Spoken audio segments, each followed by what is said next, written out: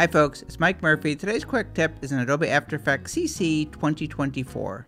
In this tutorial, I'm going to show you how to write expression comments or notes in the expression editor of Adobe After Effects CC 2024. So what are expression comments and why might you use them?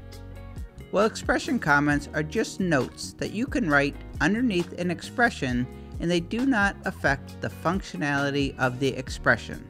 Let's say that you add an expression and you just want to document what that expression does. So you could create a comment and just define that expression. What is its purpose or how does it work?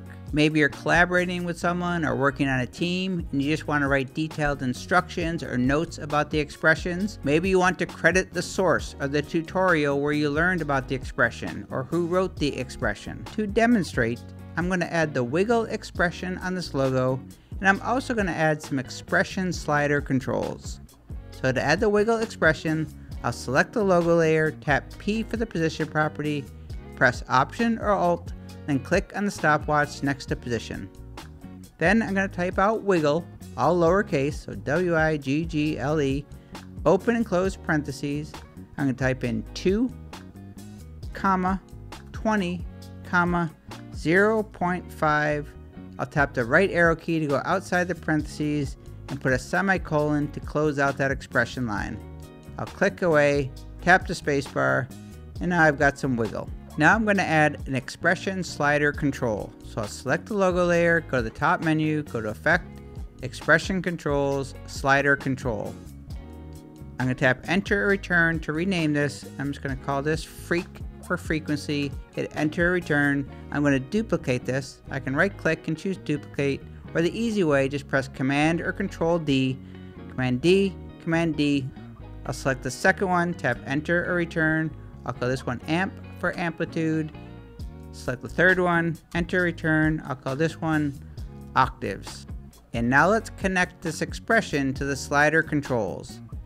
And if you don't see your expression, if you tap the letter E two times, so EE, that will reveal all expressions. So just click inside the expression editor, highlight the first value, this is frequency, then go to the expression pick whip, click, and drag it onto the frequency slider control.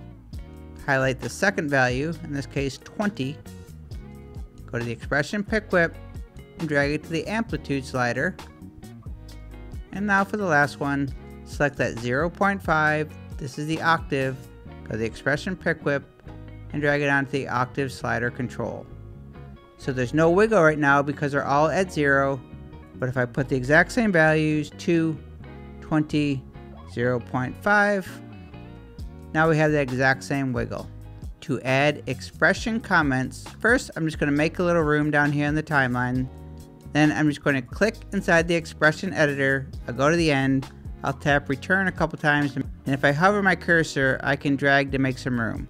To add a single line comment, all you have to do is type out two forward slashes. So those are under the question mark. So forward slash, forward slash, and type out your single line comment. Maybe you use the wiggle expression all the time, but you always forget which one's frequency, which one's amplitude, Maybe you didn't even know that you could add a third value called octaves. Or maybe you've used octaves but always forget what it does. Well, you can use expression comments, write yourself a note so you'll always remember. Shift return, I followed the exact same procedure to add single line comments. So now I know the amplitude is the distance or how much the animation is moving, and octaves controls the smoothness or the complexity of the wiggles. Two forward slashes for a single line comment.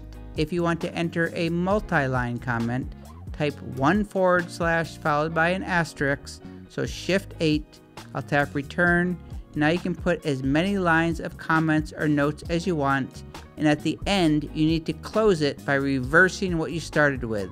So asterisk first, shift 8, followed by a forward slash, and that is how you can add single line and multi-line expression comments so you never forget what the expression does or why you added it in Adobe After Effects CC 2024.